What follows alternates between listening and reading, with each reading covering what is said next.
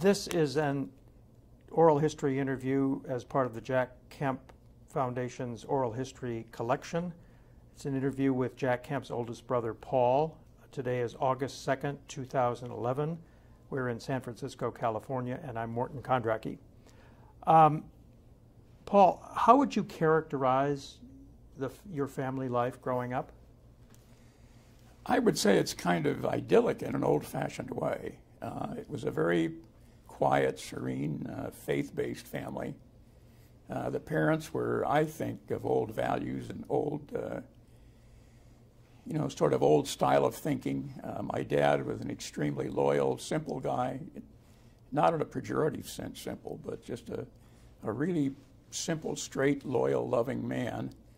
My mother was an educated woman, and so she was a very energetic, uh, assertive, professional woman, sort of. And uh, the two of them had kind of an ideal of their own in which they raised their family, and that's kind of how we grew up. We were protected from uh, a lot of outside negative influences, even though it was in the midst of the Depression. And it was tough times, but we were kind of shielded from all of that. So we grew up in a happy, active household. Um, what are your standout memories about Jack Kemp as a kid? I would say standout memories would really amount to him trying to fit in and him playing games all by himself and, and accumulating statistics and records. And uh, he would spend hours playing these spin the arrow games. They had professional football and baseball names attached to them. I wish I could remember now what that who they were. They were famous players, and they had these board games where you'd spin the arrow and it'd land on a number, and you'd advance a player from one base to another, or a team would make a touchdown or something. It was, and he'd play those by the hour, and he'd keep notebooks of statistics on those games. It was really kind of uh, amazing. He would do that hour by hour. The other thing that we all did, but he did to a much greater extent, was listen to the, the old simulated ball games where some guy in a radio studio would be watching a, a teletype and then he would uh, he would simulate the crack of the bat and uh, and announce the game just as if he were there. And we had we played those all the time. Jack listened to those constantly. So sports, I, I see Jack out in front uh, throwing the ball endlessly. Anybody that he could get to catch for him. Uh, mostly football, but some baseball and uh, so I would say sports, athletics, uh, Jack trying to race around and squeeze his way into the family. Squeeze his way into the family in what way? He was the third. Well, I, he was the third son. Right? To me, I, knowing that I was going to be interviewed by you, I, I began to think about, gee, what what kind of things did Jack do that made him into what he was today, and uh, or what he is today, in my mind. Um, and he was number three in the line of succession here. So Tom and I were already a unit. There was four of us in the family before Jack came along, and we all did things, normal family things together. And then five years later, after Tom, why I'll take a moment to drink here.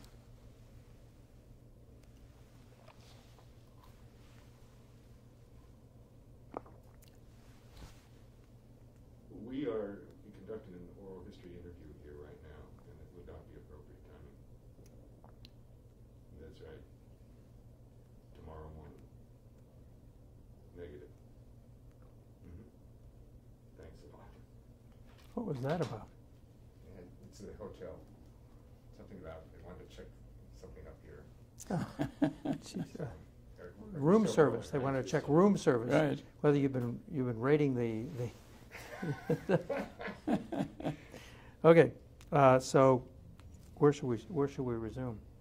Right where you were. Okay, go ahead. Just keep keep keep keep going. Yeah, Tom and I were already a pair. I had grown up as a uh, kind of an indulged spoiled little kid, and Tom came along, and the two of us, like all kids, were then used to doing things together. Jack came along enough years later to where he kind of had to scramble to fit in, and like kids, kids are cruel, and and uh, and we probably didn't want Jack to involve himself, you know, a little red haired, pesky kid. So Jack kind of got pushed aside a lot as kids are kids tend to do. And to me, I think that's kind of what made Jack into the loner that I see him as a, him always have been, uh, always being. I think Jack essentially was a lone wolf who had such a great personality and a way of embracing people that uh, people didn't realize that. But he rarely stayed in one place very long or with one person very long. He was always out and about and around and over and doing. And so I, I see Jack growing up as kind of in that outsider influence and having to struggle his way into the family unit. And that's kind of what I think formed him into who he was in his later life. Did that answer your question? I've Yes. Um, so the, you have the impression of Jack Kemp being a hail fellow, well met, politician, lots of friends, all of that. But I take it that there's a, a different Jack Kemp that, that you knew as a right, growing up. So right. what what is this loneliness about? This or this loner tendency about? Well, anybody who knows Jack, and I'd be interested to hear Dick's reaction to this, and I'd be interested to hear Joanne and, and maybe some of the kids. But Jack was a, uh, a considerably different person uh, with his loved ones and his family than I think he was with a lot of the rest of the world. Uh, Jack uh, essentially never stayed in one place in one state very long. He was always all over the place. Tom and I used to talk a lot about the fact that Jack seemed to just have to move, had to travel, had to move, had to go, had to go here, had to go there. Uh, it's hard to describe, but I see that as coming from the fact that Jack was number three the, among the boys and sort of late in arrival and having to more or less fight and bite and claw his way into the family circle. Now, this is nothing psychologically bad. It's just, in fact, it might be typical of the third child in any family that comes along that much time later. But so I see Jack as essentially a, a, uh, a loner in, in, a, in a quiet sort of a way. Does that mean that he wasn't intimate with all of you as life went on? Right. Jack, Jack, I, I hear again, I'd, I'd love to hear others' opinions. No, we've never gotten into this kind of a subject, but I don't think Jack was very intimate with very many people, if really anybody, perhaps other than Joanne or his children, uh, until very late in his life, I'm sure that uh, he got quite intimate. I'm sure of that. Uh, even with me later on in life, he got uh, closer.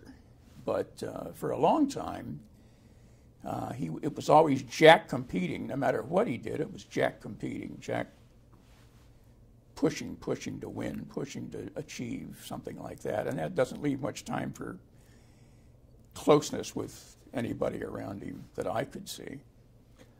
So later in life, what did you get intimate with him about? Uh, the nature of people and the nature of life and uh, how people react and how people think.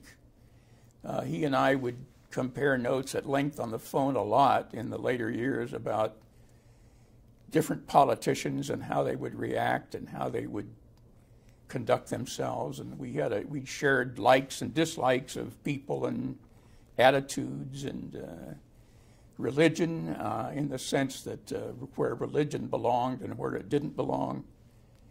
Uh, how how religion kept trying to intrude into government and both he and I felt that was really wrong and frequently in very bad taste, if not wrong. And uh, so we, we talked a lot about those kinds of things. Um, it never got what I would call extremely personal, but it did at times. Uh, and towards the end, of course, why, uh, especially uh, after he knew that he had been diagnosed with serious cancer, uh, it wasn't particularly terminal in his mind at that point, but he was quite frightened of it, I think.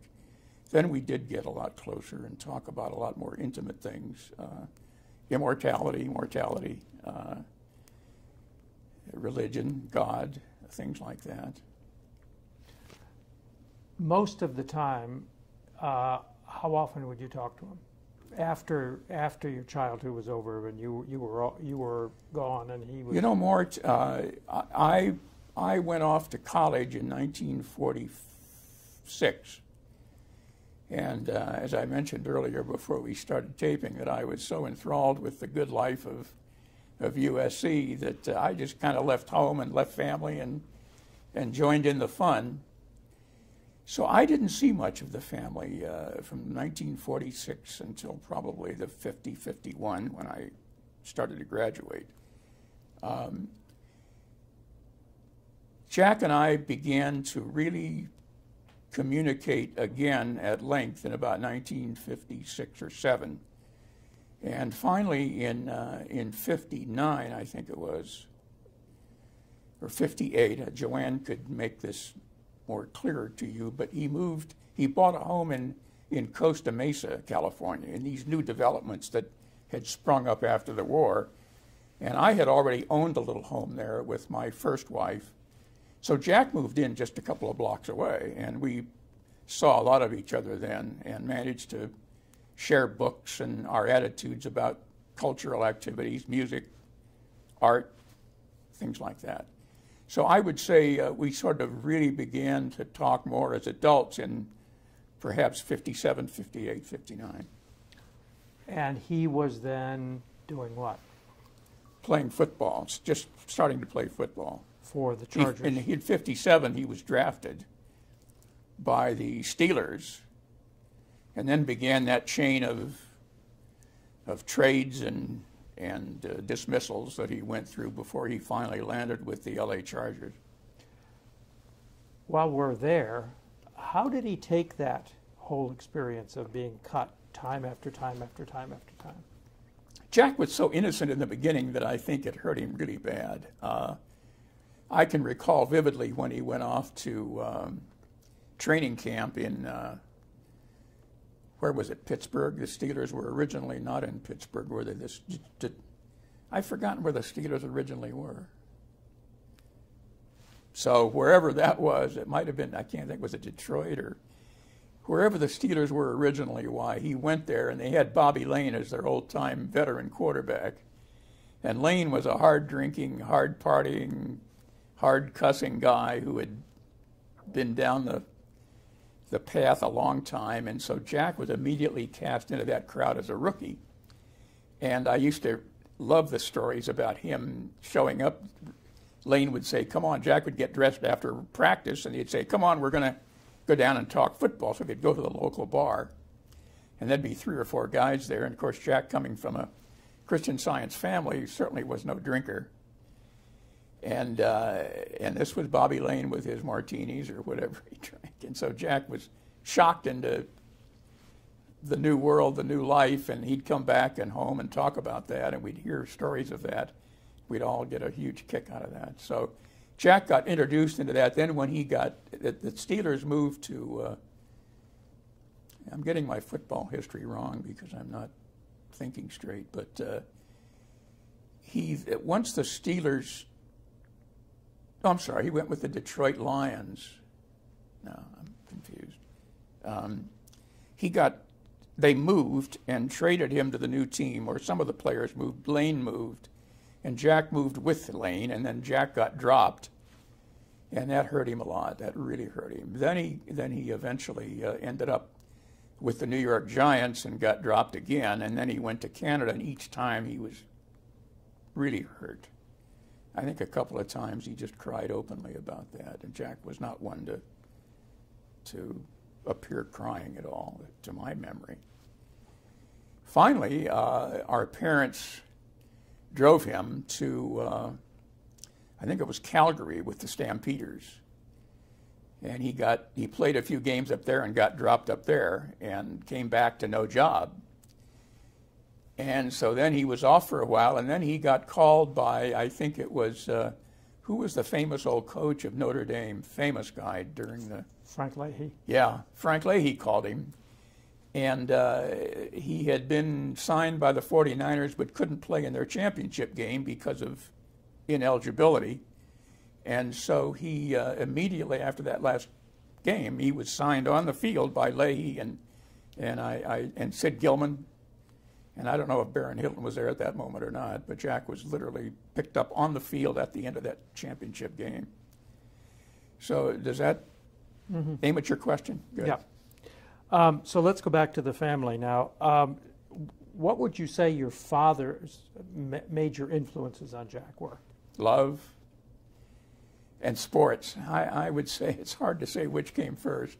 Dad was an old ball player. He was a an excellent ball player when he was uh, in high school, and he never when he never I don't think he even finished high school. I think the World War One draft took him out of high school and uh, put him in the Navy. And I think after the Navy he went right to work. But Dad was a great ball player and a great handball player and a great almost everything he did. He was a natural, and he was a he had kind of an athletic, you know, the pro athletic nature. He he was that's why I say he was a, a simple guy. He uh, in in a really good sense, loyal, loving, kind. Uh, treated everybody as he wanted to be treated. The golden rule was major to him. Uh, so that's my dad, and I think that was the influence that, that permeated all of us. I think we all tried to emulate that in him, some with success and some not, probably. Um, Dick says that uh, that your dad and his brother Jack had this incredibly close relationship, and that that sort of inculcated a sense of brotherly love among you you boys. Is that correct? I think that's absolutely correct. I think that's good of Dick to remember that. Uh, Jack was the youngest boy in a family of 12 kids. She actually had 13 and one died. Um, but Jack was the youngest and kind of the baby of the group, and my dad sort of fathered him all the way along through his life. Uh, dad bought him his, his first car. Uh, dad paid for a lot of things for Jack.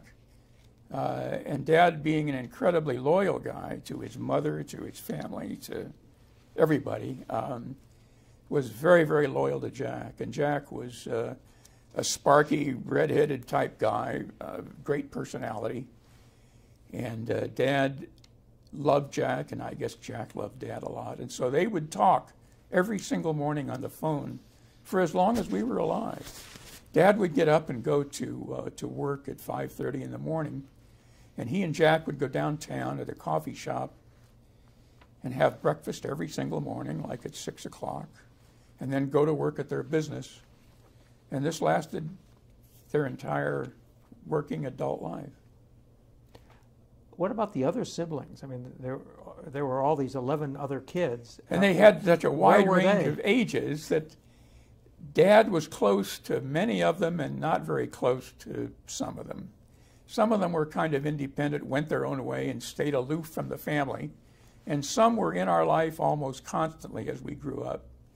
So dad was uh, very loyal to his mother. Uh, his mother was widowed early, and uh, she had no place to go. And so during the Great Depression, she got kind of traded from family to family to family to take care of her after she gave up her last family home. And so uh, Dad and Jack would support her for many of the final years. She lived with us during the Depression, and she lived with Jack during the Depression. Um, was uh, your dad interested in politics at all? Dad was a fervent Republican, as was Mother, and I think most of his family was. His famous, most frequent joke was that uh, in 1932, he was still busy driving people to the polls to vote when Roosevelt had been elected hours before in New York, and he used to laugh about that every couple of years.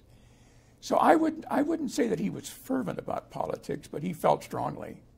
He felt strongly that we objected to Roosevelt and then to Harry Truman, and quite unjustly now. But that's how people feel. Why, why was he? Uh, why was he a Republican? Why was he I think his anti-Roosevelt? mother and his family were. Um, I don't really know any more about that. Why? I, it just kind of grew up with the family, and Um, so, what was the economic circumstances? You owned a house, right? He owned a house, right. and that must have been unusual in those days. I think my mother and dad were married in 25 or 26. I came along in 28. For the first year or two of my life, we lived over in a western portion of Hollywood. And then they bought this typical California bungalow on Plymouth Boulevard, and we moved there. And we grew up there, and, and the family stayed there until about 1950 or 51. I forget the, the year. And then my aunt and uncle had owned a home a few blocks away, and he died early years earlier. But when she passed away, she willed that to my dad, and uh, they moved over there to her house, Aunt Marie, Marie Kemp. But the economic circumstances of your family must have been Oh, I got off well, well above that of the ordinary person in those days. To own a house, your own house, Well, more, we grew up in a very, very middle class way, in a very middle class neighborhood. Dad, Dad and his brothers, uh, Jack, Dad, and Willard, uh, I think the second or third oldest boy in the family, and a, a, a hanger on, a, a, young man that Grandma raised called Dugan. Uh, that's all I know him by. He those those four brothers went into business as the Kemp Brothers Motorcycle Company, and they had the franchise for the Henderson motorcycle, which I believe was a division of the Schwinn Bicycle Company. And uh, Mr. Schwinn took an immediate liking to my dad, although my uncle Willard was the silver-head, silver-tongued guy in the crowd, and he was the one who had gotten the franchise for the Henderson motorcycle. So they became Western States dealer for the Henderson motorcycle and sold these motorcycles to police departments and the CHP and state people all over the West. And they had a, quite a thriving business going up through, I would say, probably 1930, 31, somewhere in there. The world began to change, obviously, and uh, they had a, a, branch in Pasadena, and their main store was down on Main Street in Los Angeles, and so the circumstances were very good through that point. But then it developed that Willard had actually bankrupted the business, and the business went broke, bankrupt, and instead of declaring bankruptcy, why my dad and Jack paid off all those debts uh, in 10 or 15 more years, every dime, and took a lot of pride in that. Um, so our circumstances started out good. My mother had a great job when, when I was born, and they remained good up until perhaps the beginning of the Depression. Then we went way down the hill. And there was a time in the mid 30s when uh, we were broke. Dad uh, kept talking about not knowing later, he would never reveal this to us kids, but he kept talking about uh, how am I going to make the payroll on Friday? Uh, how am I going to do that? I just don't know. And he would pray and and and uh, and try to be very spiritual about where that payroll was going to come from, and and uh, with help from different people. My uncle Claire, uh, he always managed to make payroll. I can recall a birthday. I think this was in 1936, where my friends and I were all sitting around the dining room table with mother and dad and brothers and neighborhood kids, and it was a party. We were having a birthday party for me in July, and uh, I finally said, "Gee, why aren't we going to the pier, to the Pike? We used to call it the Ocean Park Pier, rides and games and stuff." And I guess I made a fuss about it or something because all of a sudden Mother began to cry, and then Dad broke down and cried. And then I think within a little while, while we got up and all went down to the pier but they didn't have the money to go. It was just broke time. Before that, I think it must have been in 32, 33. Uh, I was awakened at 9 or 10 at night by the doorbell ringing. And I got up and ran out. You know, kids jump up and run out, and the porch light was on, and Dad was going to the door. And there was a guy in a brown uniform with a Sam Browne belt on and a gun and holster and all that stuff. And Dad said, Well, you can take the damn place. Take it, it's yours. And I didn't quite at the time understand what that meant, but he said, You can have the damn place. And we were being uh, evicted. And later on, when I interviewed uh, my Uncle Jack, just like you're interviewing me, I got Jack to talk about that. And it was painful for him at the moment to talk about that. But he said that eventually Uncle Claire, Claire Kemp, was a very successful merchandiser up here in Burlingame, California. And he bankrolled much of the family's problems during the Depression, and he came and apparently rescued us. I know very, very few of the details of that the parents would just never share that with us. That's not the family that Jack lived in, though. By the time Jack was growing up, I mean, he was alive in 1935, but barely. Un, un, un, unable to know anything about Right, this. He was still a baby. Right. So, so what kind of circumstances would he have grown up in? Things were improving. Dad uh, started out with a motorcycle business. And when the, the, when the motorcycle business collapsed, well, he took his inventory and made that into a, a messenger service and a small parcel delivery service. And he had contracts for driving stunt people at air, shows were common during that period. They'd have low flying planes and stunts, and people would parachute out, and these were common in those days. So Dad would have the contract to provide three wheeled motorcycles to run out in the field and pick up parachutists and drive them in, or pick up stars or VIPs and drive them into the stands. He did that quite a lot. Um, so by 39, that business had had been converted into a, uh, a parcel delivery service. And I think it was in 37 or 38 that he bought a fleet of trucks and turned it into a little larger parcel delivery service. So by the time Jack came along and, and then Dick, why the, the war came along and began to pick things up, and things improved very drastically then for us. So by the time the war started, things were much better, and uh, the, the, the family was in much better shape. So it was, the lowest point was probably around 35, 36. And then around 37, 38, things began to get much better. So by the time Jack and Dick became of age, why things were much better.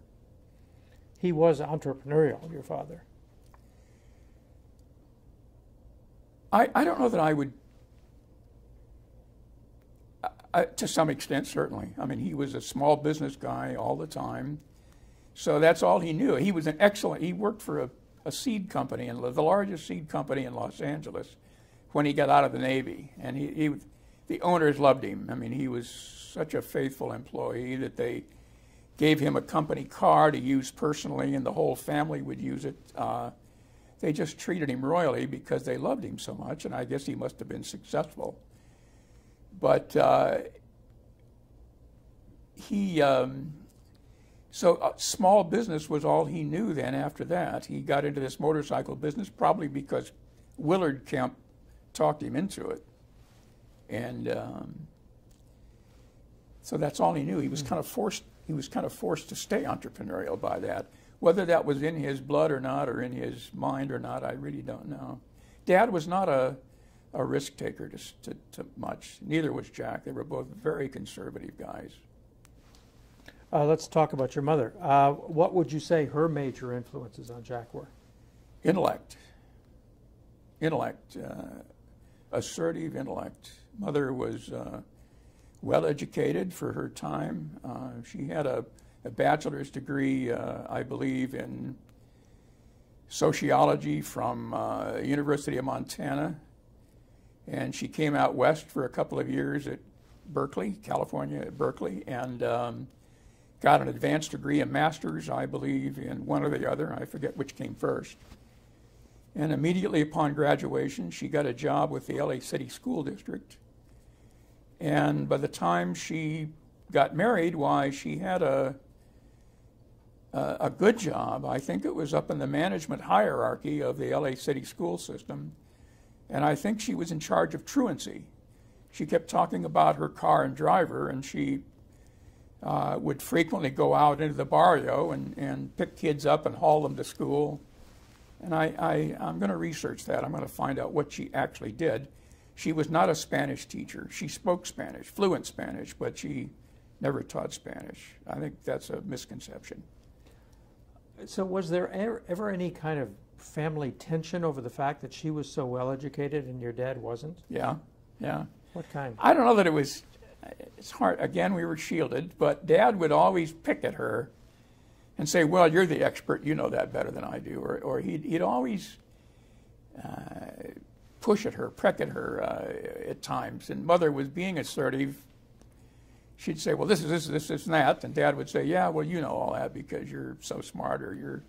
But Dad was not the kind of a guy that would ever continue that or keep that going. Or I don't think he inwardly, I'm sure he felt inadequate or inferior because of that. He always kept saying, I never finished school. He always kept referring to that. So I'm sure he felt some degree of inadequacy because of that. But again, he was a, a sunny guy. He, I mean, that always prevailed. What was the basis of? gonna just pause here for a second.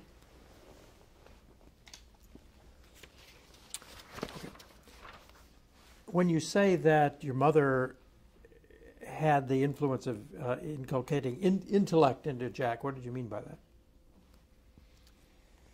Mother was an educated woman, and she was uh, again assertive, as I use that word, and she was uh, alive, very much alive, very inquisitive, very much in tune with the world's affairs, and uh, and she pushed us intellectually all the time. Uh, we'd sit there at the dinner table, and what started out as a discussion would end up as a big battle, bang bang between us uh, mother would foster that. She would get that going. She would ask questions, and we'd tease each other about pronouncing words.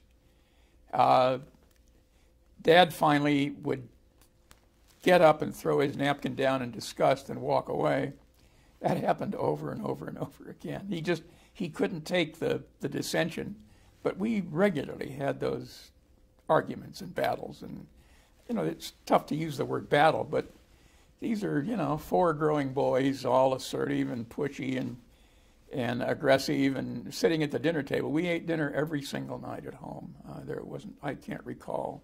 We hardly ever went out. Probably they didn't have the money to go out most of the time, but but mother would uh, would inculcate us with current events and thoughts and ideas and opinions all the time, constantly. Can you remember? So this included Jack. I'm, that's what I'm getting at. Jack. Can, can you remember any of the subject matter or how the how the action went? Well, it depends on what was happening. Uh, uh, in 36, why there was the Hindenburg disaster. And so we got into dirigibles and, and Germany and uh, why dirigibles and what was going on with them. The, the, the king was crowned uh, in, in England, and that became a huge subject for us to talk about England and the history and the crown and royalty and uh, why royalty and who, what royalty, where, and the, all of these sorts of subjects. Uh, there's an interesting point that we can touch on or not about our projector at home and, and the films that we used to rent, but uh, that was more on the entertainment side. Intellectually, I think that Mother would. Uh, I, see, here again, I can talk about her relationship with me a lot, but I, I wasn't too conscious of how that directly affected Jack. But I know that he would have been, just like Tom and Dick all were, uh, uh, d- directly affected by Mother's intellect and her thinking and her constant push of intellectual curiosity. Do you remember Jack's participation in any of these? Yes, I do. I, he was he was Jack. He was very assertive and aggressive and and argued a lot. And I can't specifically remember the arguments, but we ranged all over the map. And there was a lot of sports talk. Uh, the Hollywood Stars and, and the LA football team, uh, Bulldogs, I think I've forgotten their name now, but uh, we used to go to a lot of ball games and, and a lot of events. Uh, and those had come up, and we'd talk about those. But Jack was just one of the gang by the time I remember all of this. Early on, he wasn't, but then as he grew up and got. And he was a kind of a, at first, a pesky little red haired, pesky kid. And then he kind of grew up and began to think and talk and argue, and we just kind of went on that way until I went off to college. And I'm assuming they probably continued that way, but, but by the time I went off, why, uh, Tom was close to going off to college too, so that uh, probably broke up an awful lot of the, what had happened originally. And I really don't know much about what went on there, except when I came home, it was much the same. So I get the impression that your dad was the sports person and your mom was the was That's the essentially correct. Yeah, Dad was an athlete and involved in sports. Uh, belonged to the Hollywood Athletic Club until the recession, depression forced him out of it. Uh, but uh, he used to play handball up there on a weekly basis, perhaps during the week also, I've forgotten. Um, and he was very good at it. Apparently, he won tournaments up there. Uh, this was the Hollywood Athletic Club, which was a division of the LA Athletic Club. So, dad was the athlete, mother was the intellect, mother was the educated person. Uh, dad would express ideas and thoughts on politics, but it was mainly mother who led the charge. And I think Dick said in his book that she was the values person, that she was the disciplinarian. You know, that's, that's easy to say, but uh, I can remember being very afraid of Dad's moods when he would suddenly get tired of the problem, and, uh, and uh, he never struck us, never laid a hand on us, but somehow we were really afraid of Dad when he got angry, which was very rare. But Mother was the one who was always carping at manners and carping at this, and car- Dad, Dad would too, but he was more of the quiet, passive side, and mother was the aggressive side. Mother would always push on manners and attitudes and, and values, as Dick says. That's right. That they both were highly valued. Dick, Dad would talk a lot about values and, and how to treat people and how not to treat people and things like that. And how did Jack absorb all that stuff? Mort, I, it's just like I did and like Tom did, as far as I know. Uh, it just all worked its way into his conscience and his memory bank, and uh, that was it. Uh, I don't, spec- I don't recall any specifics about Jack uh, in this particularly. So, what what exactly was the role of sports in your in your family? I became, Dad being an athlete was always athletic and was always playing ball in, in pickup groups or handball. Uh, I developed a very, very severe asthma when I was two years old or two and a half. So that kind of pushed me out of any athletic effort at all. I was barely able to move much of the time for several years. Tom was a natural athlete. Tom was Mr. Athlete. Uh, everything came so easily to Tom that it was almost uh, amazing. Uh, Jack then came along after Tom was well into pitching and throwing and running and and we had an awful lot of pickup games out in the streets in our neighborhoods. A lot of the kids were very good at stickball and football and baseball. We played right out in the street. And uh, I'm sure Jack got into that crowd uh, as he came along. And I, I just remember him constantly uh, pitching and throwing on the front lawn, constantly, with whoever he could get to catch the ball. Um, But your main point was, did Well, I I, just did I miss your main point? well, um, um, somebody has described this. Maybe it was Jack himself um, at some point, saying that uh, sports was all day, every day, morning, noon, and night. That's true of Jack. Uh, and probably of Tom for much of the time too. And Dad would uh, would come home late at night, you know, in the summertime at least, and he would catch for Jack or Tom. Uh, What were your mother and dad's attitudes to, toward competition? competitive. I wouldn't say uh, overly so, but uh, competitive. Mother was a real competitor. She was, I take it, the captain of her basketball team up in Montana. I don't she, think she played after she left Montana, but uh, she was a, a tall woman for her age, and so she played basketball, and I guess was quite good at it from what her friends have told me. But she didn't participate in sports when you were kids, did she? So, in what way was she competitive? Just, just in encouraging winning.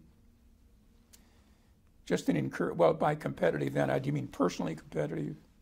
Not really. No, I, I, I don't see that. I just see her as encouraging a winning attitude and saying that you will win, you can win, and don't worry about it, you'll win. Uh, that type of thing. Did uh, did she or he, your father make you boys competitive with one another? No, I don't think so. I think we were competitive enough without uh, without anybody encouraging us. I think we were all very competitive siblings. We just constantly bang, bang, bang together all the time. What about fighting? You know, Dick is a better judge of this between himself and Jack. He'll, he'll tell you about that. I think he and Jack swung it a few times at each other. Tom and I get into it a little bit here and there. Uh, you can't help it living in a small house.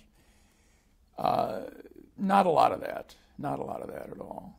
Uh, mother was the peacemaker, and Dad was the peace. They, they, were all peacemakers. They were just they cooled it no need to fight, no need to. And we were aggressive young teenagers, and so we managed to to not obey that very, and we'd fight, we'd, we'd get into it, but not not a lot of physical stuff. Um, Dick actually told me that that the rivalry was between Jack and Tom. That Tom was such a great athlete that Jack either emulated him or, or no, that's true. Jack emulated Tom. I think Jack hero worshipped Tom greatly. When Tom died, Jack was devastated, and that's what he expressed to me all the time was that his hero had died, uh, had left. That was it. That was what came out so clearly when, when Tom died. when did Tom die, and what did he die of? Gee, uh, he had a heart attack in the swimming pool in Laguna on a morning workout, and that must have been uh, more seven or eight years ago now. I, am sorry I can't be more specific, but uh, I'd say it was um, 2005, 6, 7, somewhere in there. And Jack?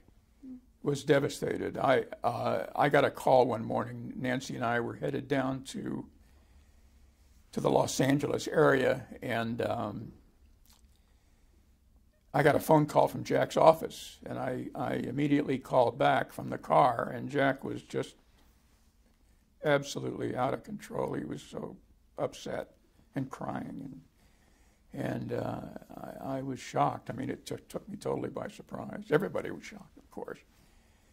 So I think Jack was very clearly Tom's. Tom was very clearly Jack's hero, and uh, that's really easy to see because Tom was already well established playing games in football and baseball both. He was I think, an all city athlete in both baseball and football. He was a southpaw pitcher and a southpaw single wing quarterback. And at Fairfax High, Tom was already a class president and, you know, the athlete worship stuff. And so Jack was following right along behind that and uh, came up after that. And I think Tom was his role model and his hero. But I don't think there was competition between them other than just getting into it a little bit at sports at home or something. But Jack was argumentative, so there would be a lot of argumentative question and answers and type stuff on sports. Different teams, different st- statistics, different players, different opinions, you know. Um, somehow crying, even with your brother dying, but but also when you're cut from a football team and stuff like that, doesn't fit with the notion of tough guy football player. How do you square that? I'm probably not a good source on this question, but I could tell you that Jack was not an emotional guy when it came to crying or expressing sorrow or uh, sadness. Uh, the only times I can remember him crying were two or three times after he got cut. One time, I think it was after the Steelers cut him. That was about the worst time. And then when Tom passed away. But there was no other history of that to my knowledge. Um, so where did Jack get his all this competitive spirit? Was it it was from his mother? You think your your mother? I just think he grew up with it, Mort. I think that he uh, he was Mr. Outside, as I said in the beginning, and I think he started out having to kind of work his way into the family, and that's what made him into a, a guy that wanted to succeed and and uh, and I think he kind of grew up uh, in, in, a sense alone, and um, which is ridiculous to say it when you look at the closeness of our family, but uh, within that context, why he was kind of a loner in terms of Tom and me being a team together already.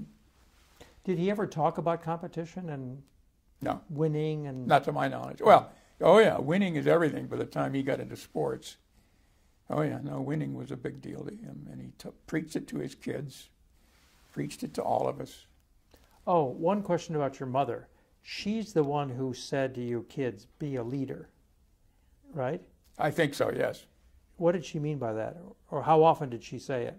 Because Jack always said it to his kids. Right, but this was mother to Jack probably later on. I don't remember that to me at all. I think I heard it probably second or third hand. Uh, that must have been to Jack and Dick later on when they were growing up.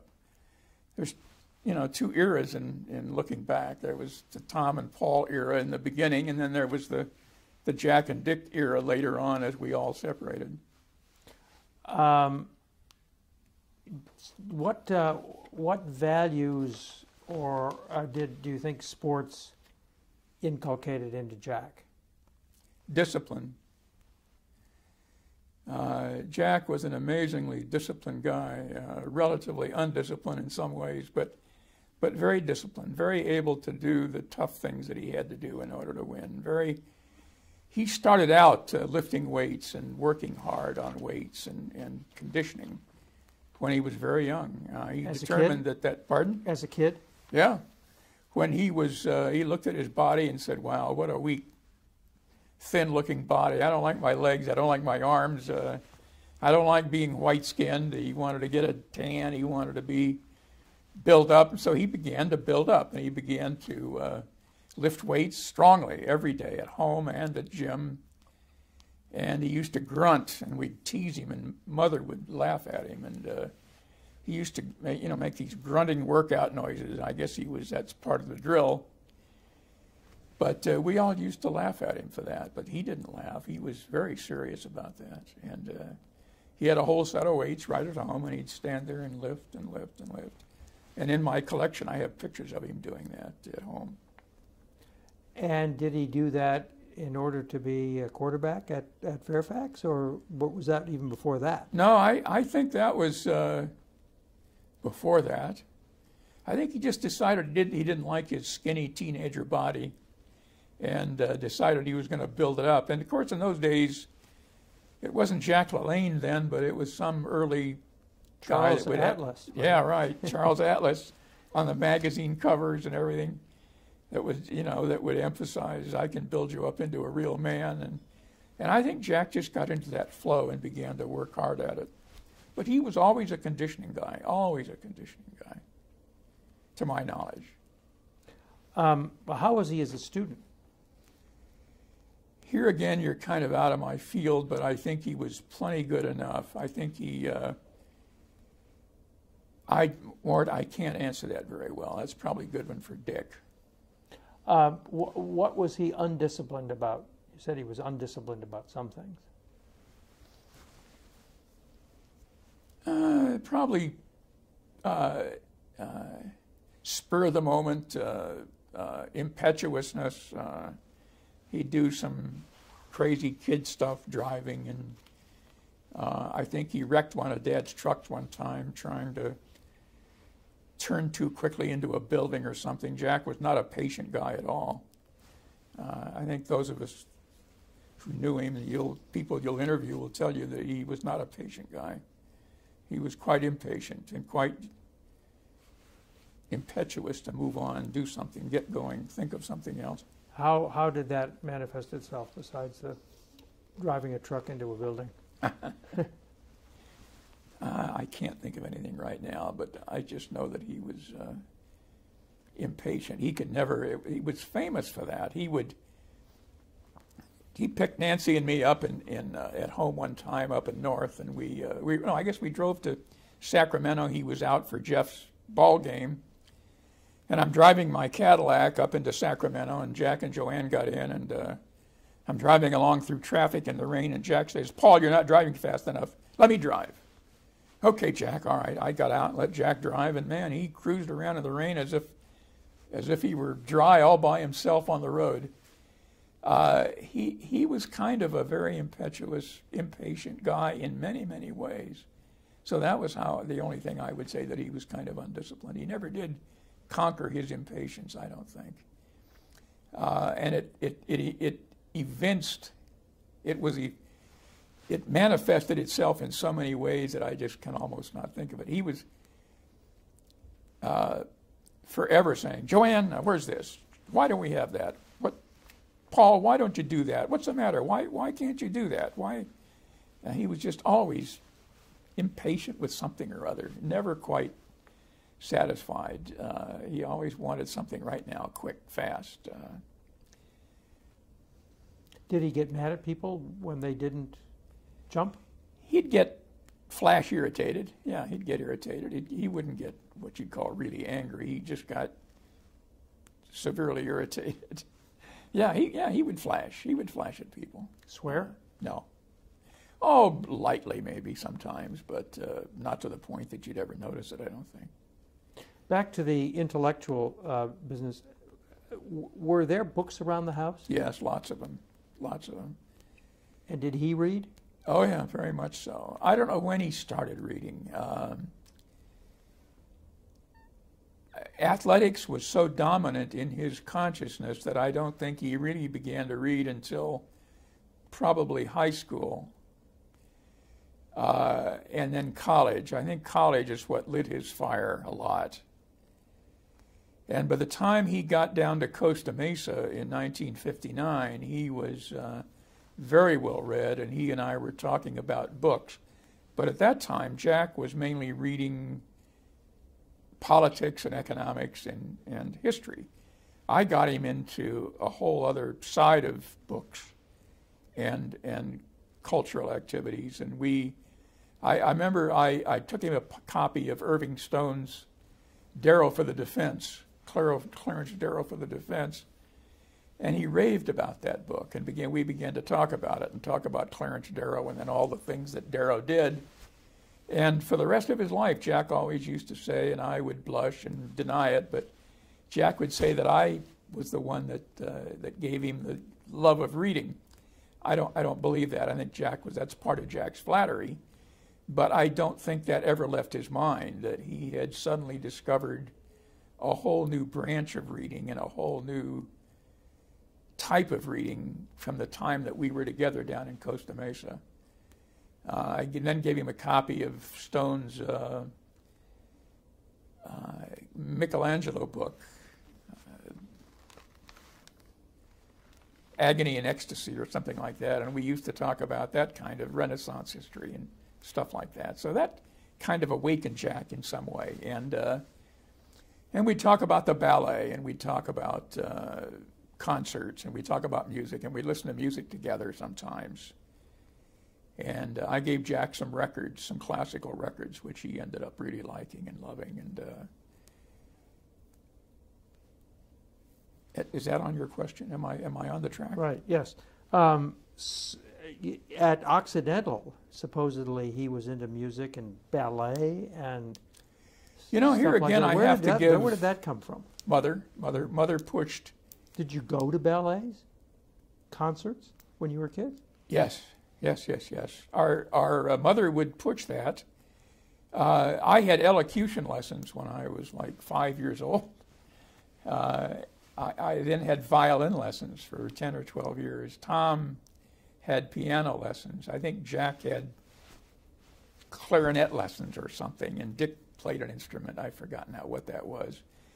But we were raised kind of in the, the new modern way of raising kids in those days. Mother was a, a professional person, and she kind of had this, I suppose, a modern way of raising her kids, and so that's how we were raised.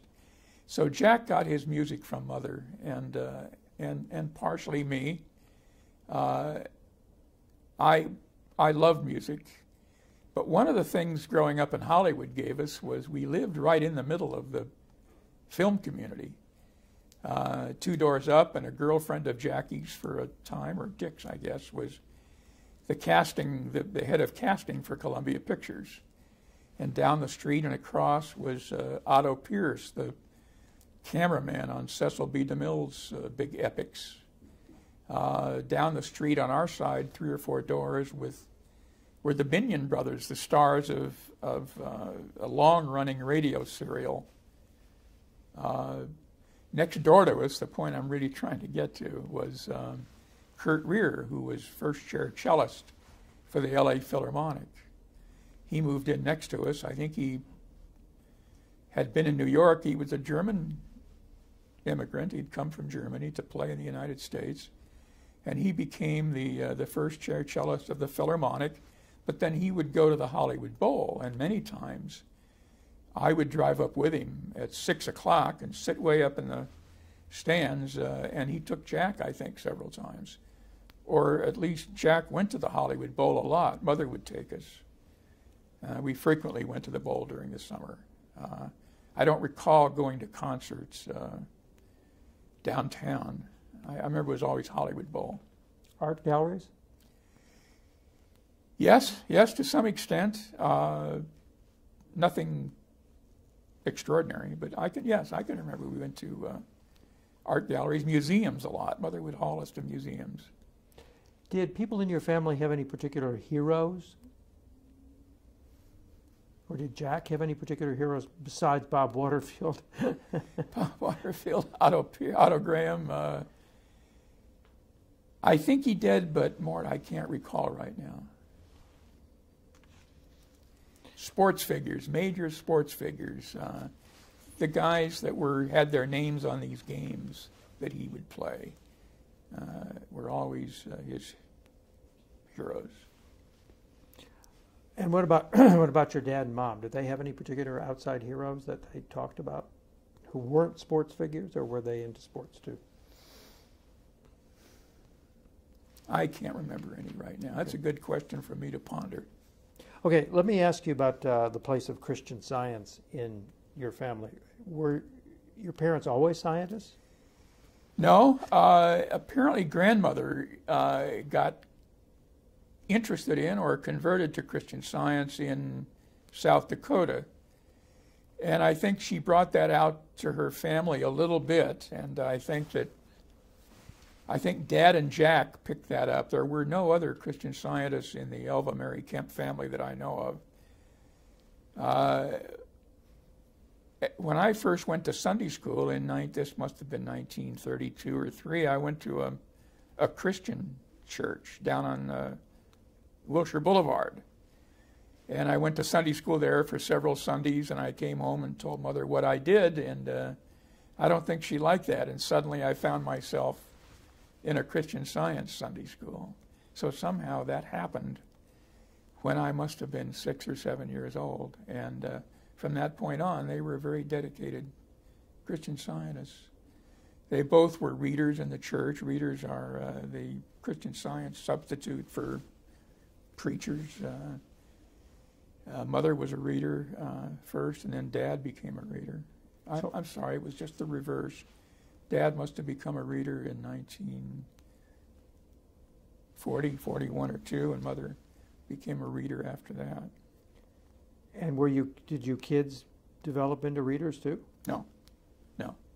Dick eventually became a Dick, Dick Clergyman. eventually, Dick was the deepest into church of anybody and became a Christian Science chaplain in the Marine in the in the Navy, assigned to the Marine Corps, and served over in Vietnam in some horrific conditions, uh, which is another book of his that's just wonderful. But Tom was a dedicated Christian Scientist. I've sort of been in and out of it my whole life. Uh, never out of it really, but just di- differing in uh, in depth and differing in a uh, discipline to it. But both dad and mother were very devoted. and Jack. Jack was into Christian Science a lot until he married Joanne, and I think during that point, uh, uh, I think he converted and became a Presbyterian. But he had become a, a class-taught Christian Scientist before he married Joanne. Was there any distress in the family about his conversion? Oh, I don't think so. There might have been, but here again, the folks never, the folks never would share any of that with us.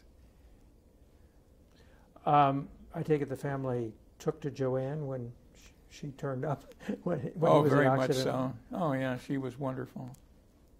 I think, yeah, she was an instant hit with the family. Oh, she's such a terrific person.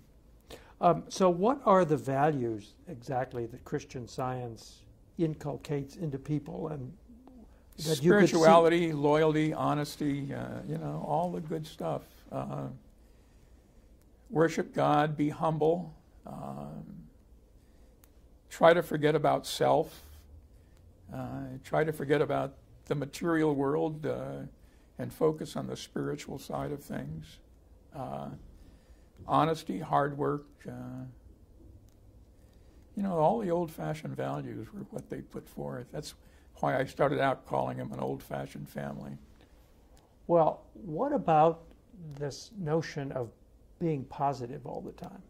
I mean, that the, that the world is essentially good and everything's going to turn out all right. I mean, some people have said that Jack Kemp was an inveterate optimist and that this comes from Christian science. Is there any connection there? Sure, I, I think that's the foundation rock of Christian science is that God made all, and, and since God is good, then all is good, and so everything has to be uh, good. And so that's, that's a bedrock foundational item in Christian science. And so you're encouraged to see that in everything rather than to see anything evil or wrong.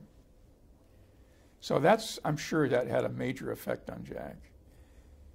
And Plus, he's just, he was just a very positive guy uh, in his nature, so. Um, so what about what about injury and sickness and stuff like that? Here, Jack Kemp is he gets injured again and again and again and again and again, even in high school, I guess. Sure. So does Christian Science say anything about what to do about when you're injured? Sure. Well, Christian Science is a is is a silent healer, and so uh, nothing was ever really said. But I was I recall sitting in the stands at Oxy, and uh, Jack was carried off the field unconscious, and Dad would just get up, and we'd both walk down to the locker room, and uh, I'm sure Dad was praying that whole time. And uh, Jack would come to, and they'd pass smelling salts under his nose, and and the next thing you know, he'd be out on the field again for the last half uh, or the fourth quarter, playing his head off. So uh, again, it's a silent process. So I couldn't tell you that there was any overt expression of anything. I'm sure mother and dad uh, spent a lot of time praying. Um, now, Dick records somewhere that when that not only did they drive him up to Canada to when he joined the football team up there, but when he got cut, they drove him back, and he was in distress. And your mother said something like, um, "Don't worry, when one door closes, another one opens." I mean, is that something that she often said, or did Sure, you, do you remember that story? That's that's what she would say. That, I don't recall that specifically, but I'm sure that's what she said. That was what she was always saying. That was how she was always talking. She was sort of well known for that within the family. Um, anything else about Christian Science that you think is important to know in assessing Jack's character? Not really, Mort. I, it was just the family style of thinking, and so he was raised in that environment, and I'm sure it had some residual effect on him. So he started wanting to be a pro quarterback when? Probably high school. You know, probably dreaming about it when he was a little kid playing those games. Probably dreaming about it from the beginning. Little kids dream, we all do. We all have our secret ambitions, and I imagine that's when he decided he wanted to be a an Otto Graham or a Bob Waterfield or something like that. And did the family think that he had a chance? I don't think anybody thought about it. I'm sure that mother and dad would have said, "Sure, go ahead, you can do that. If you want to do it bad enough, you'll do it." But I don't think anybody uh, would particularly take him very seriously. I think at the time that this was going on, they were so focused on just survival and getting things done and managing four boisterous kids that uh, I, I, just don't know specifically about that. Uh, when he was playing at uh, Fairfax, did everybody go to the games, the, the whole family? Uh, no, not not all the time. I only went to a very few. Tom. No, there were so many games uh, that uh, we just couldn't make many of them. I know Mother and Dad. Uh, Mother wasn't too fond of going. She was always so afraid. Mother was very fearful. Uh, what? Of anything mothers fear, uh, injury, uh, accidents. I'm sure that she prayed a lot over over that stuff. she was she was I would say, equally tending to fear as much as she was uh, assertive and and uh, outgoing and and uh, I to looking back, I think my mother was a very powerful woman in a in a quiet way, a motherhood way, in a in a. Your brother Dick actually says that uh, you lived in a matriarchal household, that she sort of was the dominant figure. I think that's very true. I think that's very true. Dad was uh, far more passive than mother. But then Dad was the guy that had to go to work every morning uh, at 5:30 and got home but six or seven o'clock at night, and uh, and was always trying to make that payroll that I mentioned.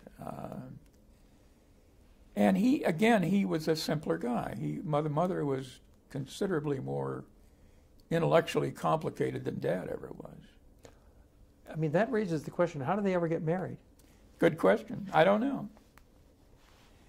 Mother, mother's family used to winter. They were, they were Montanans with huge ranches in eastern Montana. And they would winter in Pasadena. And somehow the families got together, and mother met dad, and they ended up getting married. But they were very, very different people. But dad was a lover.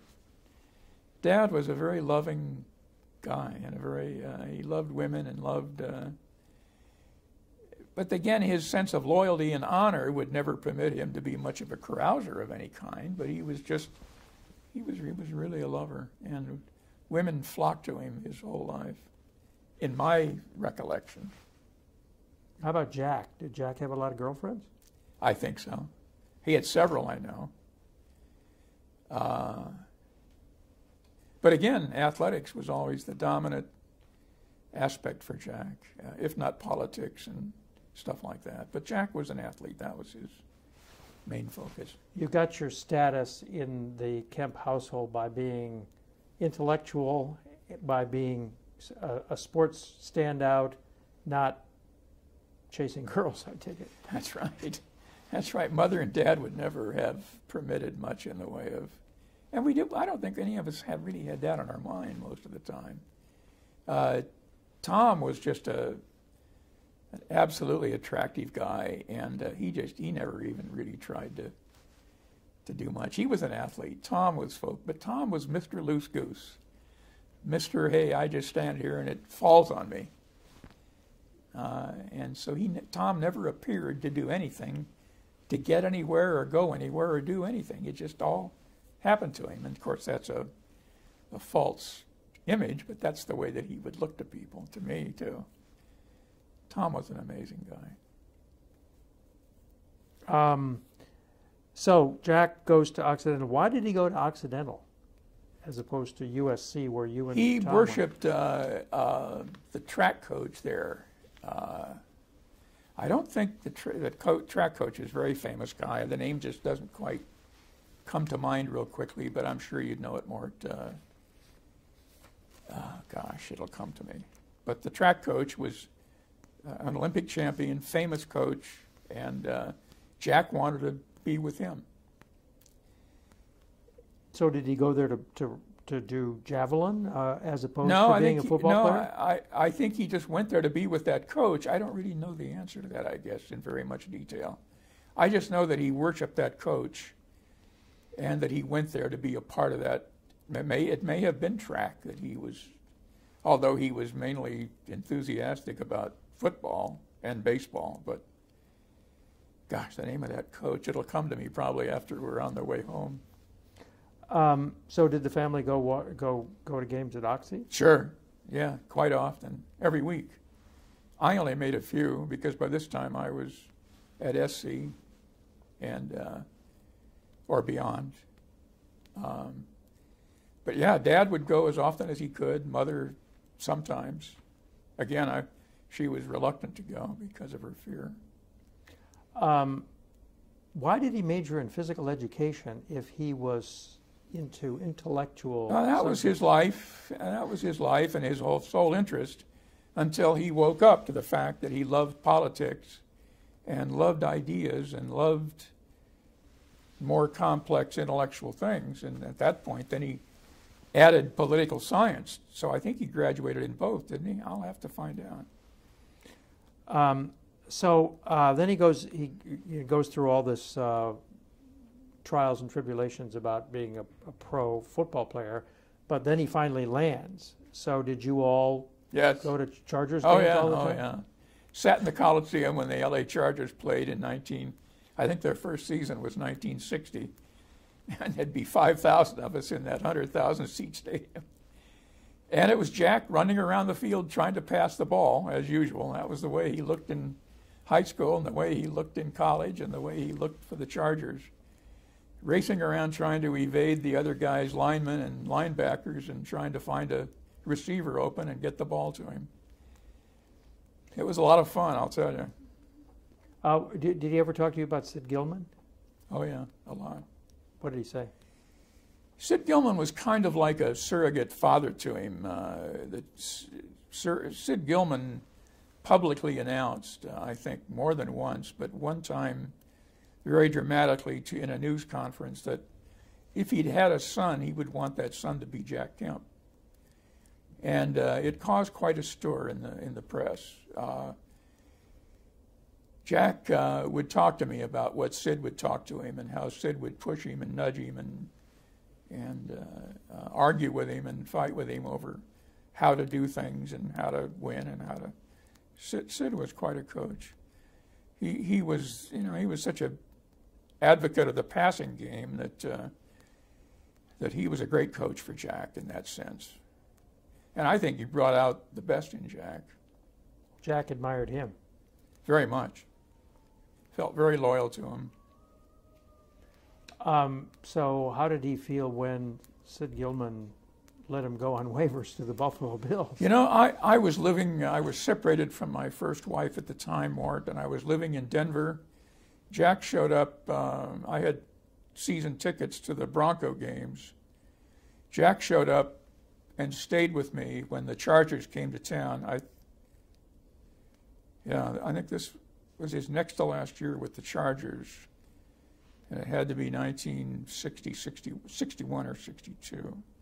Jack showed up and, and stayed with me at my home in Denver. And uh, he was very, very, very upset and sad. It turns out that he, at that time, he would never admit this to me later, but Al Davis was on his case, and Al was giving him a very, very bad time. Why?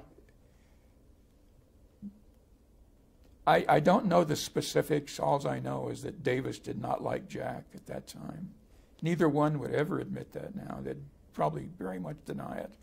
But at the time, I recall being very worried for Jack that Davis was going to get him, that Davis was going to, and sure enough, I think Davis did get him eventually.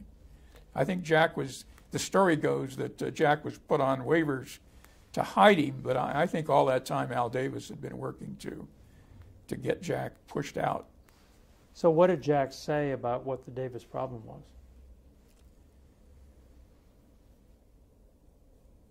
I think they disagreed. I think I think they disagreed on on uh, on playing approach, tactics. I think that Davis, I can't say for sure, Mort, but I think it was that that uh, Jack was a favorite of Gilman's, and uh, Gilman kept favoring Jack over other players. I think Davis resented that. Davis felt he was the God's gift to the uh, to the offense of the Chargers. He was the offensive coordinator at the time. I think Gilman kept overruling, and I think either out of jealousy or anger or resentment or something, Davis just turned against Jack. I don't know anything more specific than that.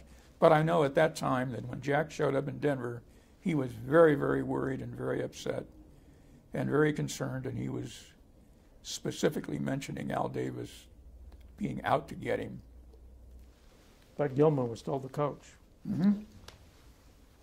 So was it an accident, or wa- was was Gilman unhappy when Jack broke his uh, his middle finger in San Diego at a game, and they pulled him out. And uh, they gave him, it was a tight game, and they gave him an injection of Novocaine. And he went back in, and, and after every pass, he would dislocate that finger again, and he would reset it himself out on the field. He'd stick it back in the socket or whatever you do with a dislocated finger. And he'd throw that ball, and that was his last game for the Chargers. Um, so he got wavered. How deliberate or how uh, accidental it was is another question. Here again, I privately, personally think it was Al Davis that uh, engineered it. Gilman uh, is somehow credited with trying to hijack.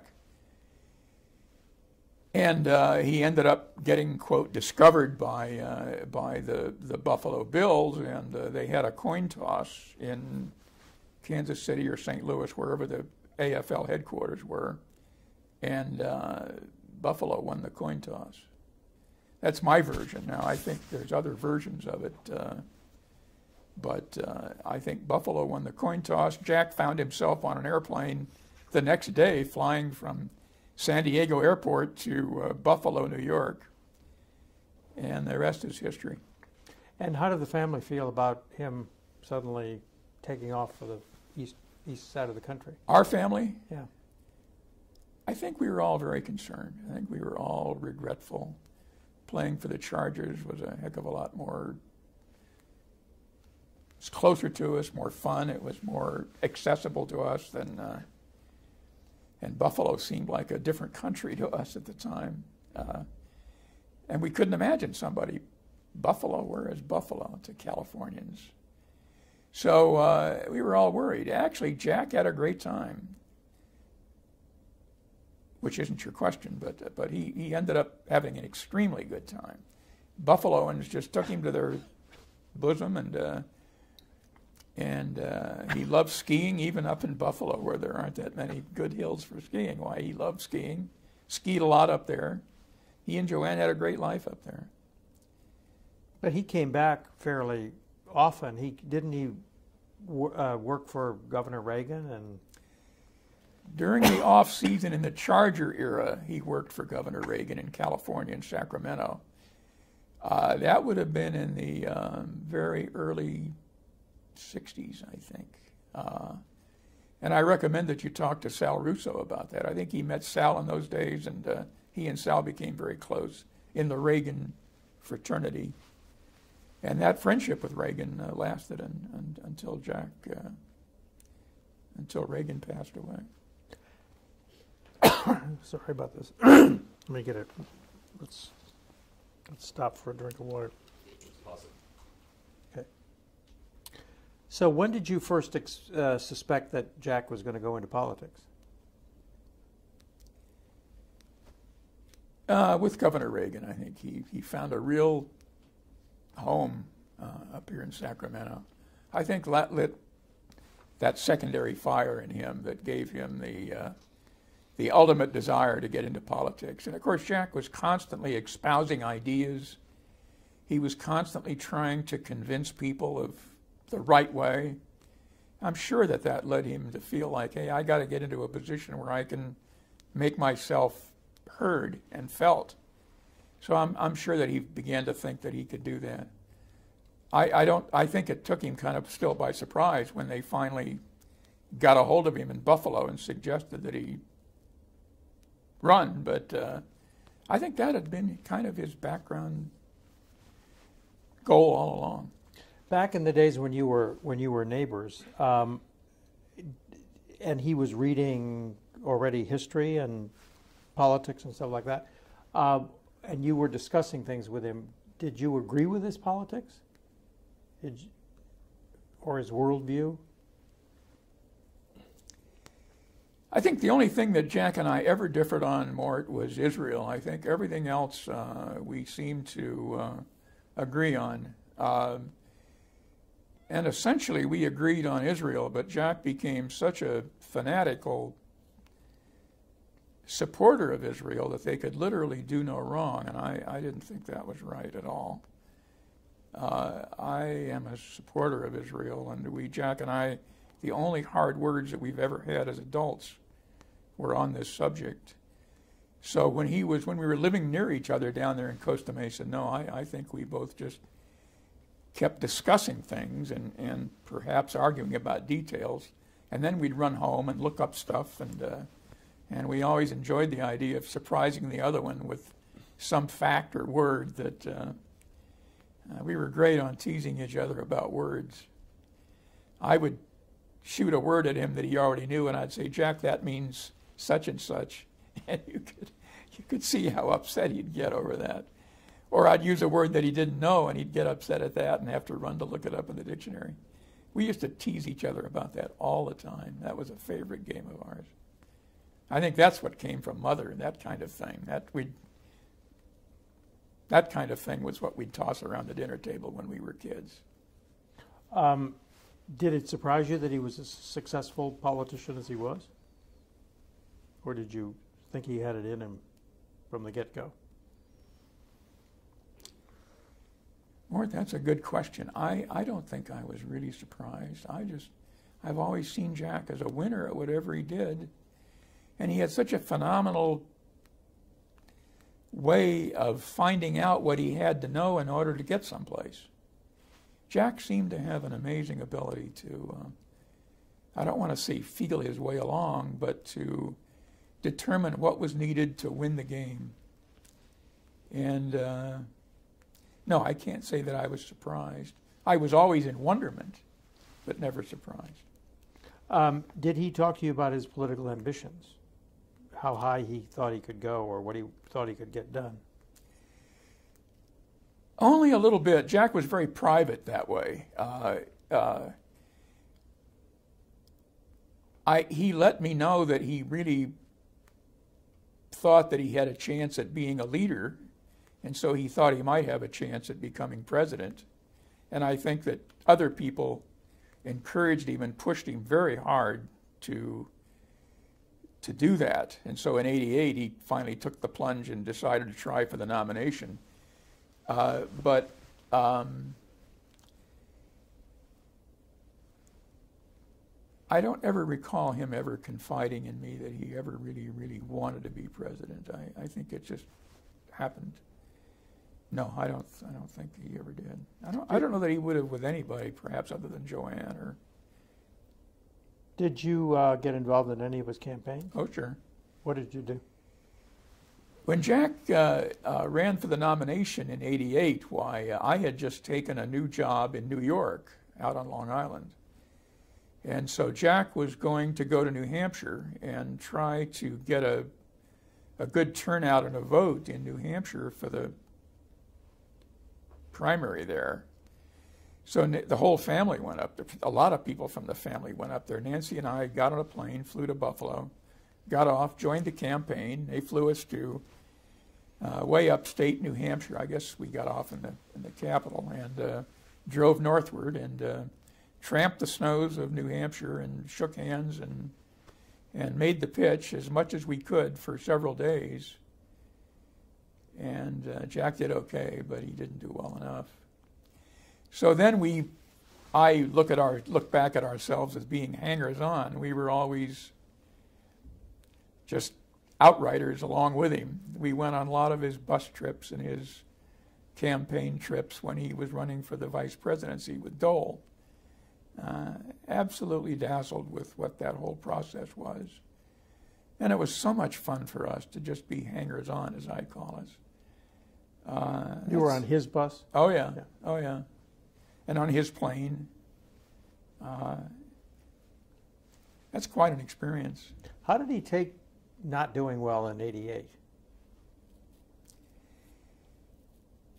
I think he was disappointed, but it's onward and upward for him. He was disappointed, but uh, It wasn't like uh, getting cut from no, the no, no, I, no, not nearly that bad. I think Jack uh, had such a spirit to him that, and he had so many friends that kept pushing him, saying, "Don't worry about it, don't worry about it. It'll, it'll come around again." Yada yada yada, and uh, so I, I'm sure he was disappointed. I, I felt some of that, but not a lot. So I again, it's up to somebody perhaps that was closer to him at that time. Did he really want to be president? You know, Mort, that's a darn good question. I don't think so. I, I don't think so. I think that he was pushed hard. There was a strong number of people in this country that that liked him and wanted to see him in that role advanced. To this day, I'm stopped all the time by people saying, "Gosh, I wish your brother had," and so forth. But uh, I think in the end, I, I think he was kind of relieved to not have to go through that terrible, terrible process. Do you did you did he did he want to be vice president with Reagan in 1980? Did he did you talk about that? Yeah, he did. He was very disappointed. I was in New York. Uh, I was in Long Island. Uh, I was in a meeting. I was having a, a, a national sales meeting of my guys from this country, and uh, the phone kept ringing, and they'd call me to the phone. It was Jack. He was waiting for the final answer for Bush to try to, to Bush to tell him that he was going to be the candidate. I mean, for uh, Reagan. Reagan to tell him he was going to be the candidate, and uh, I'm sorry, are we talking Reagan or Bush? Reagan in 80. I'm missing. Reagan Reagan is the nominee in 80. And Jack would have could have might have been his vice presidential campaign. He cho- chose No, Bush I instead. no, I'm sorry, I'm off the track. I don't, I don't recall that at all. I, I was beginning to spout off on the, what happened for the when George Bush the first uh, ended up picking Dan Quayle. oh, I see. So he thought he had a chance then. This was Very definitely, and he was very disappointed when, when it was Quayle. I talked to Jack probably a half a dozen times that morning, and when he finally called me and told me that they'd picked Dan Quayle, he was very crestfallen. Did he tell you what was going on? Did, that he did he make a campaign in 88? I think Jack told me that Bush didn't trust him. I think Jack said that. I, I can't say what he said. I can say that I think what he felt was that that Bush regarded him as too much of a maverick, um, unreliable in that sense, uh, too much his own man, uh, unwilling to hew to the Bush party line. Um, so, what how, what did he say about it, expressing disappointment that it was when it was Quayle? I, I, I expressed sympathy, and he said, "Yeah." He said, "It really hurts." Uh, he said, "I." Uh, he said, "I." He said, "I felt that I was really gonna gonna have the the bid." And uh, he said something happened this morning, and I'm not in it. And um, here I was in this big meeting, and I really felt bad. I felt like being by myself, or talking to him, but I, I, I was tied up and so was he. But he, I talked to him at least half a dozen times that morning. Okay, um, let's go back to family history now. Uh, Dick says that you're the ultimate expert on the history of the, the, the Kemps and the Popes. Um, That's Dick's revenge. so, um, starting on the Kemp side, when did the Kemps first come to America? Holy smokes, I think it was in the mid 17th century. I think that I'm, I'm not really an expert on the genealogy of the Okay. Kemps. I've, I've read it, and so has Dick, so, uh, or some of it. But uh, the camps, the Kemps came from, I think it was, uh, I've forgotten the town in England, but they came over very early on in the 17th century, late 17th century. 1600s. Yeah, in the 1600s, I think late in the century. And I think that they um, uh, they had been, I think, military people early on in England. And I think that's where the name came from. I think the name Kemping is, is a form of of dueling or or combat of some kind. I think that's where the family name came from. And I think that uh, they eventually um, became uh, um, what's the old word for it in those days? Uh, Indentured servants. no, not really. No, uh, they were they were more entrepreneurial in that sense. They were running horses. They they were running uh, horse rental, horse sales, uh, freight business with wagons, um, and they settled. Uh, they first settled somewhere up in Massachusetts, and then gradually moved down to New York, and they ended up in Watertown, New York, where they ran the business during the 19th century during the Civil War. They apparently made a lot of money uh, running freight for the Union and uh, buying and selling horses. And so my grandfather was part of that family and went to West to round up horses, I guess, every year. And on one of those years, why he camped by a river in, in South Dakota and decided that's where he was going to go and settle eventually, I guess. And so they founded the town called Watertown, South Dakota. And the main drag there is known as Kemp Avenue. And that's where he had a ranch and a, and a farm. And uh, That's John Edwin Kemp. yes, right. No, I'm sorry, that's Oscar Paddock Kemp, Oh, was the son of. Oscar Paddock Kemp was the son who went west Hmm. to round up horses for the family business, selling horses to the government. And uh, he, so it's Oscar who married Elva, Right. who was your grandmother, Right. right? And who were her people? Her people were the Frenches, a, a, a very, very strong, relatively famous family. Um, her brother, I think it was, founded the chain of French hospitals in Los Angeles that were more or less uh, occupational hospitals, more or less uh, uh, working men's hospitals. There was a whole chain of them, and they're now called the Pacific Medical Centers or something like that. But that chain was founded by Mother's brother, and a very, very successful guy, very, very wealthy, successful guy. And her family, uh, I think, was very notable. She had two sisters who were doctors back in uh, the late 1800s, early 1900s. Uh, she had three widowed or single spinster sisters who lived together in Boyle Heights, which was then a lovely, lovely high class area of Los Angeles. And that's where that's where grandmother lived with her family when she came out from South Dakota. Her husband died in 190 something, 1904, 5, 6. And she sold the farm and the ranch and put the whole family on a chartered railroad car. Sent the oldest son out to LA to scout the territory, and he came back. He bought a home, and she brought the whole gang out on this railroad car, and they ended up living together out on uh, Soto Street in, in uh, East LA. Why did they pick L.A.?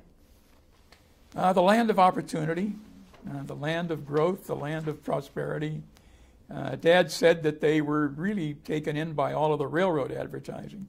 The railroads were busy promoting traffic to, to the West Coast, to California, and California was the promised land. So she had all these kids, and they had to go someplace. So she took them to what the promised land had, and, uh, and that was that was how they got here. So Elva lived with you uh, guys for a while. Uh, What was she like? And She was a great, kind of great, great old lady. She had an Indian. I, I, was going to say Indian background. That's uh, not accurate. She had a ranch with her husband back in South Dakota, and they had many Indian tribes living within a distance of their house. And there were raiders, not not raiders, but there were thieves and marauders and, you know, dissident groups among the Indians. And uh, and one night she apparently had to, to use a gun. Uh, um, somehow I've forgotten that story, but it was a famous story that circulated in the family. Uh, kept a gun under her pillow, I guess, for a while back there. Um, but she was steeped in Indian culture and Indian lore, and she brought that out with her. So when she lived with us, and at, she lived with us before Dick was ever born. But then she, when she, I think she was living with Uncle Jack, she'd come over and say Indian words to Jack and Dick, and she kind of filled their heads with Indian stuff, and it was kind of funny. But grandmother lived among Jack and us. She lived with us from, from the time I was two, 1930, until probably 34 or 5. In 1932, the Lindbergh baby was kidnapped, and so grandmother had my dad's shop come and put bars on all of our windows in Hollywood. We grew up with these big iron bars on all of our windows in the house. Grandmother said, do it. So talk about a matriarchal society. That was sure one. And we didn't have bicycles for a long time either because she thought that was a too dangerous a, a vehicle. And so mother finally went out and bought us all bikes. Said, "To heck with all of you, Dad. You can, you can, your mother can figure out how you're going to deal with this." So she influenced your dad. Very much so. Yeah. Dad was extremely loyal to her. Again, that's why I keep talking him about talking about him having a, a really old-fashioned loyalty to his mother. It was very touching. So on your mother's side, um, how did the how did the Popes get to South Dakota? Again, an English immigrant to, to New England. And uh, So you're all daughters of the American Revolution. I think so, yeah. American Mother Revolution. was a member of the DAR. Uh, you know, speaking of heroes, um, I'm trying to think of her name. It doesn't pop right up to me, but Anderson, that woman, the, the black woman that was a famous mezzo soprano. Uh, Marian Anderson. Yeah. Mother used to worship her a lot and used to talk about her being denied the chance to to sing in Washington and finally putting on that great concert at the I think it was the Lincoln Memorial and mother used to really worship her. Spoke very, very highly of her. Uh, what was your subject, Mordai? Well, let me let me just stop you there. Um, so Jack Kemp's tolerant attitude, which is famous, you know, his biracial, non-racial attitude, precedes his football days. I would say a little bit more, but I think that came from sports. I think 95% of that came from being dependent upon strong black players protecting his rear end during games. I think he, he traveled with them, practically lived with them during the season. So I think that's where that came from. Um, so back to the family. So what do you know about Gershom Pope and Lucy Catlett? The Catletts I know very little about, except they had some prominent people in the family. One was a general, a famous general. Uh, Gershom Barlow was a, uh, uh, a wild and woolly rancher, sheep and cattle, uh, headquartered in Miles City in eastern Montana, and um, had apparently at times uh, hundred, many hundreds of thousands of acres, perhaps millions of acres of land uh, especially as the market would, would rise for sheep and cattle, why he'd expand his, his size of his acreage. and war times were the best times for him. Uh, World War One apparently was a huge time of expansion because the country was seeking hides and, and meat and uh, wool and and uh, so he ended up in World War One uh, quite wealthy. Uh, quite he was the first guy to own a car in Miles City. Uh, his wife died when mother was nine so mother was raised in a male family with with uh, three brothers and uh, and her dad in the house. Her dad was a real crusty, Wild West guy. You met him? No, I was apparently his favorite child when I was very young. Mother took us to Montana on the train a couple times, me, but uh, uh I never knew him. No, I was too young. He died, a mother said, of a broken heart in 1929, I think it was. The, the Depression ruined him. The crash ruined him, apparently.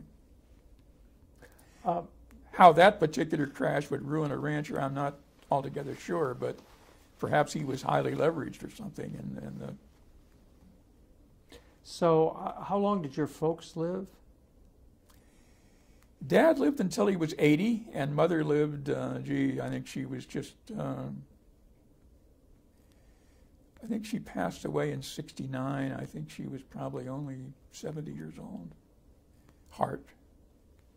Dad had a stroke, and mother had, I think, had a heart attack and passed away. And how did Jack take their deaths? Uh, just about like the rest of us. It was tough, very tough. Jack was away, I think, for both both events. I think he was living in Buffalo uh, for both events. I think, or Washington D.C. perhaps. When I'll have to go back and think about those dates. I can't remember, but.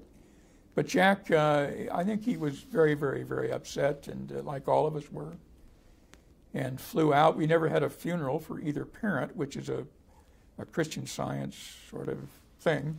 Um, I think he flew out to be with us, though, after both. Um, so wh- when Jack himself got sick, did you talk to him a lot about how he felt, whether, whether he was wor- how worried he was? How did you learn about the diagnosis? He called me and told me. Uh, he called me often then during that time, and, and as the suspicion grew, it was never at first known. I mean, it wasn't a decision, it was just a, a possibility. And uh, he was told that it was a, a likely problem, but he kept saying there was always this chance and that chance of not having it go further. And then I think one day he called me up, I think it was a Sunday afternoon, he said, Hey, I it's it's terminal now. They've told me that it's. Uh, I've only got, I think he said, three months to live. I think that's about right too. I think that's about all he did. He did live. He went very, very quickly. But I think he was um, at first worried, and then I think he just calmed down and accepted it. Uh, here again, I, I, wasn't that close to know, but uh, every time he talked to me, he seemed um, at first alarmed and then subdued. And did he have a, a kind of religious attitude toward it? I mean, did he talk? I mean, more not to my knowledge. Or... More not to my knowledge. Dick, Dick might have more knowledge of that than I would. Dick flew. We both of us flew back, but at different times. I flew back and spent a long weekend with him. I think it was four or five days.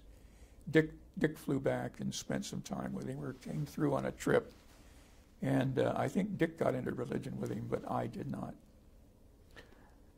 So we're just about to the end. Is, is there anything I've missed about who Jack Kemp was or that the world ought to know about?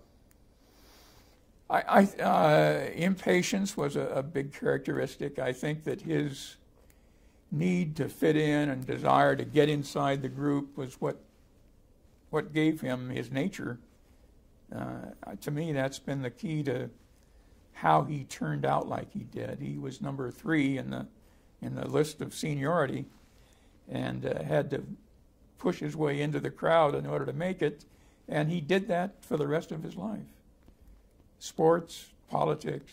Uh, he was always an outsider in a way when you stop and think about it. Which created drive and focus. Sure, you bet. That was always him trying to get over that hurdle and get in and be accepted and win the game or win the point or win the argument or win the battle, whatever the battle was. Right. Well, Paul Kemp, thank you very much for doing this. Gee, thank you for giving me the opportunity to talk about a great guy. Okay, good. Thank you.